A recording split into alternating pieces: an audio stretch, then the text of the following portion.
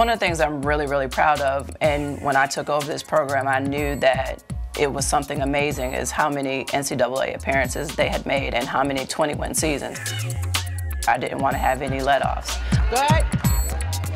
So in two years, we're able to go to postseason play both years, and hopefully we'll be able to do that this year as well. But being able to go to seven NCAA tournaments seven years in a row is a credit to the hard work that the players have put in.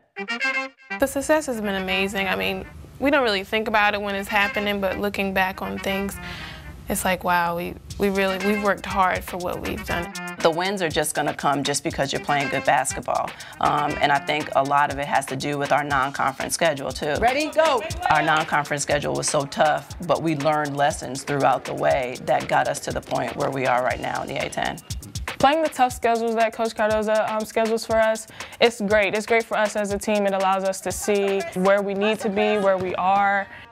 Just the competition we play being so tough prepares us for later on down the line, especially the non-conference games, with the A-10 being so tough and having such great talent in the A-10 itself.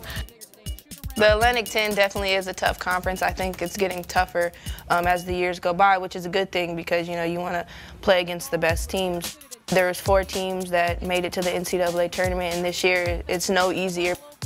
The success that we've been having for the past two years, it's it's been great. I mean, we work hard. Talk to your teammates, Quita. Don't get frustrated with them. Just demand more from them.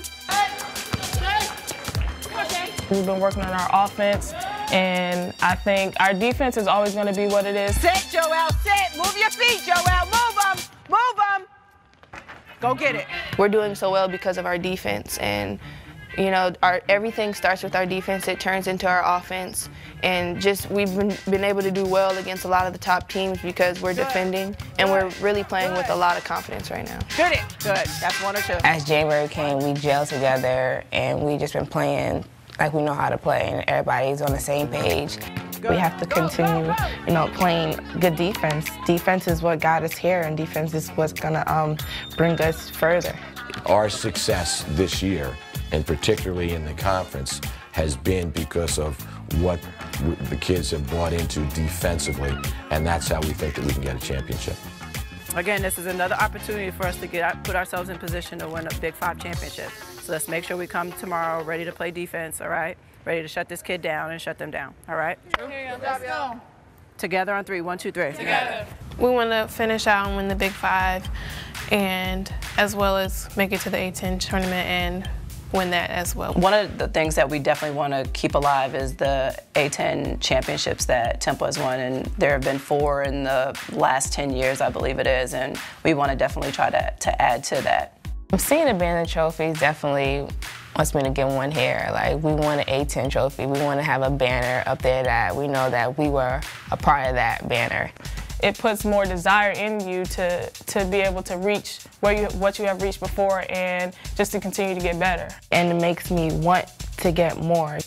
Yeah, we have banners and trophies, but we're trying to go further than we did last year and the, the couple of years back. So we're just trying to go all the way. Our ultimate goal right now is to win the A10 championship. The last one was in 06, so there's no one on the team right now that has an Atlantic 10 title. Um, everyone's really hungry. We've been working really hard. Do that, Joel. Good, Chris. We love kids that, you know, have a passion for basketball, that have goals to um, try to reach. We really want that. I think that's a, our biggest goal is to get the A-10 championship and then get past the second round on the NCAA tournament. That's the ultimate goal. So you win the A-10, you get an automatic bid for the NCAA tournament.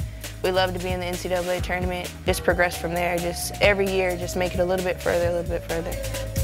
I know how important it is for my players to get one. You know, that's something that they've talked about since the day that I got here, that they want to win an A-10 tournament. They want to, you know, make it to the next round in the NCAA tournament. So that's what motivates me so that they could get something. And of course, obviously, I would be happy with that as well. You know, just so that they can walk away with, with something like that, that's important for any player.